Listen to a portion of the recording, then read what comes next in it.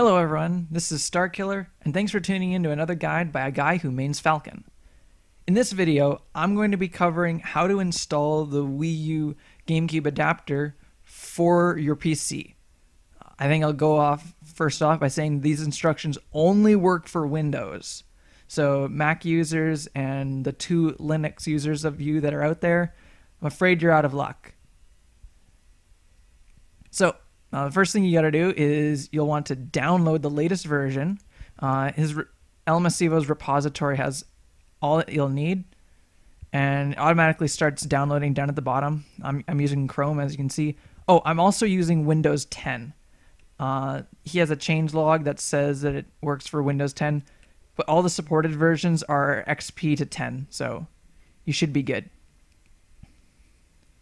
If it says that this type of file can harm your computer, you'll want to keep it. It's all good. So I'm just going to go right ahead and follow the instructions. All the instructions are right here. I'll, I'll put the link on screen just so it's easier to see.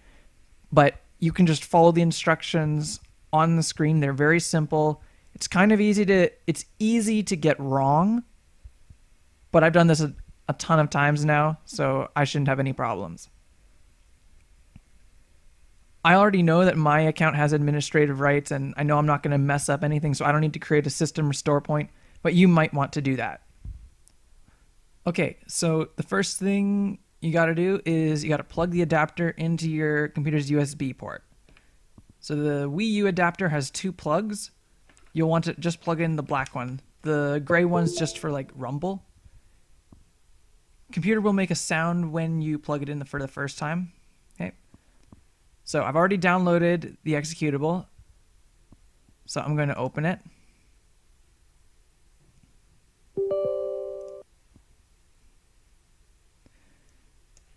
So as you can see, there's this. Here's the uh, installation window, and that's the instructions. Just it's really simple. Just follow the instructions. Next, next, and I want to create a desktop icon. So I'm going to click that. And then it's just going to install it. This is Zadig. Zadig, I don't know how it's pronounced. This is the thing that's going to let you actually get the driver working. This piece of software that it installed onto my computer, uh, I believe this is Zadig 2.2. Uh, oh no, 2.1. There we go. And I kept my version of Zadig on my computer because if I ever mess up the driver uh, in the future, I can just run this program and then it will reinstall it. So, following the instructions, I'll want to. I need to set this set this first tab to WUP 028 and then it's going to it has a target driver already WinUSB and it says reinstall for me so. And then it's to install this driver. So close. And now I'm allowed to close out. And now VJoy automatically starts setting up. So just leave everything clicked and install. So there we go. VJoy has installed successfully. Hit OK. And finish. Okay. So that didn't. Now you saw there was a small error message that said that it requires heightened elevate. It hi- requires higher privileges. That's because the the GameCube feeder application requires admin rights. This here's the the GameCube adapter software.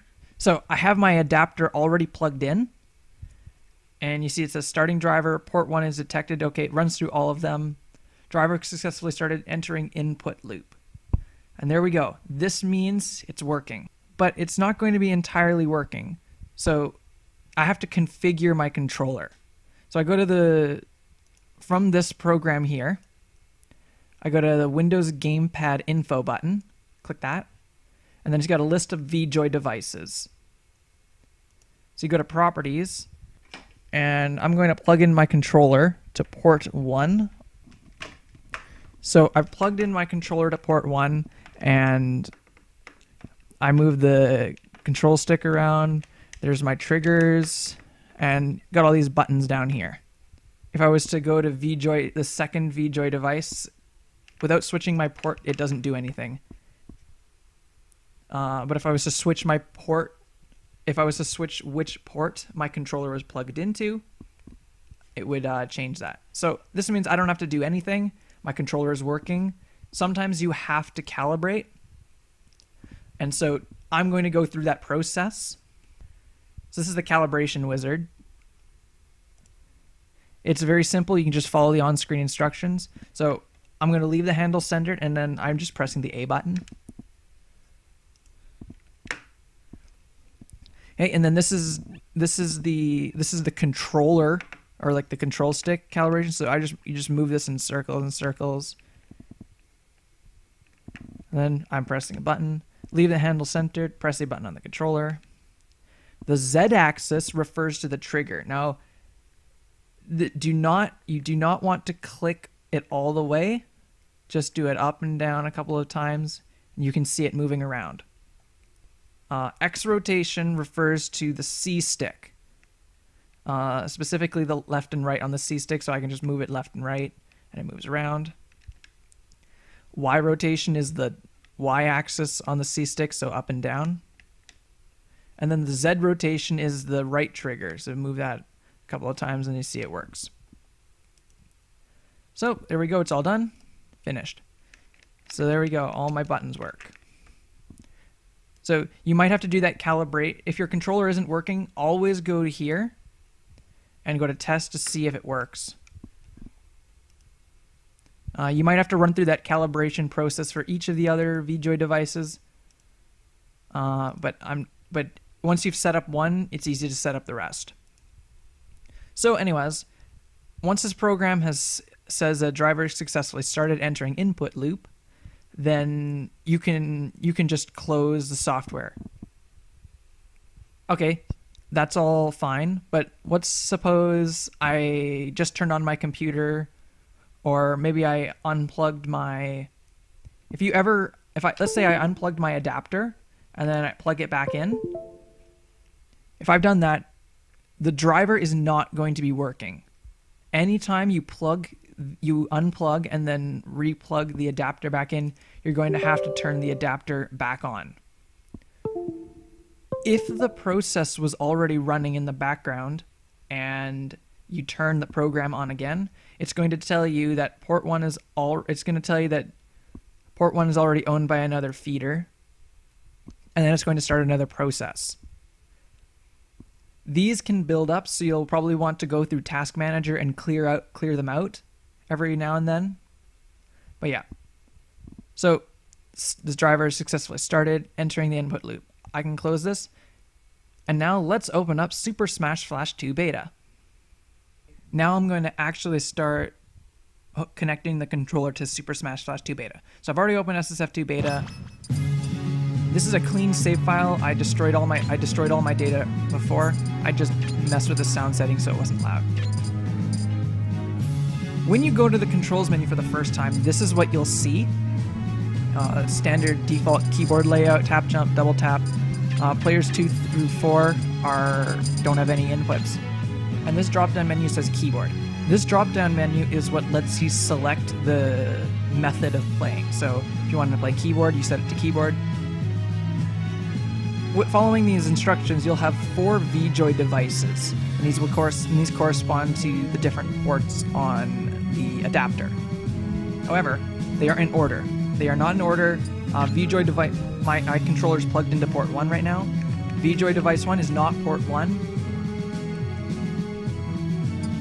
VJoy Device 2 isn't even port 1. VJoy Device 3, however, that's port 1. It worked. Uh, they all correspond to a port. I don't remember which one corresponds to which, but it works. You'll just just go find out on your own which one's which. It doesn't matter which player mapping you have it set to. These things up here just tell you which player in game is going to be using that layout. It doesn't matter what port you have the controller plugged into as long as it's using the proper VJoy device. So I'm just going to go through and set this up with a standard Super Smash Bros. layout.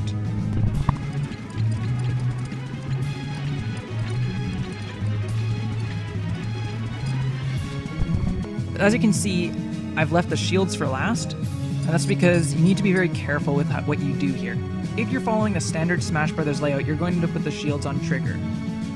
Uh, your first instinct is going to be to just click the trigger and then you're going to end up with axis 2 and axis 3 for left and right trigger respectively. You do not want this. If you do this, and if I was to go in the game right now and play with these settings, my character is once I press when I press shield for the first time, they're not going to shield, but as soon as I let go, they're going to never stop shielding. It's just going to loop forever. You need to make sure your shields are set to buttons, not axis, not not an axis.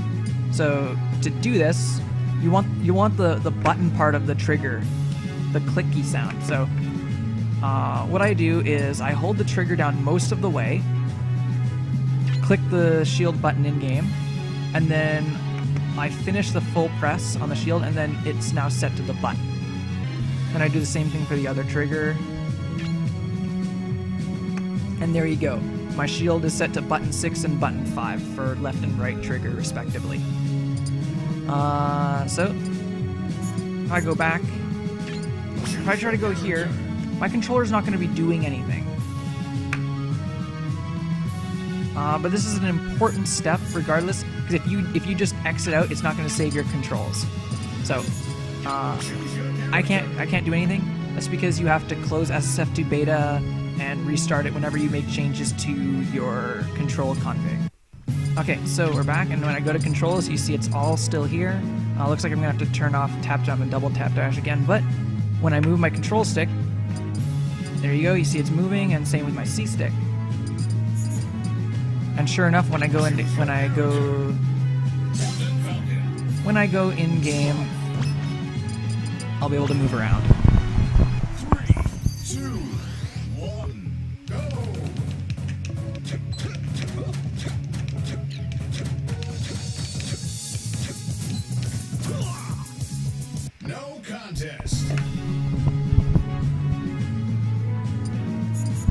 So there you have it. That's how you set up a GameCube controller for Super Smash Flash 2 Beta uh, using the official Nintendo Wii U adapter and elmassivo's drivers. Thank you all for watching, and I'll see you next time.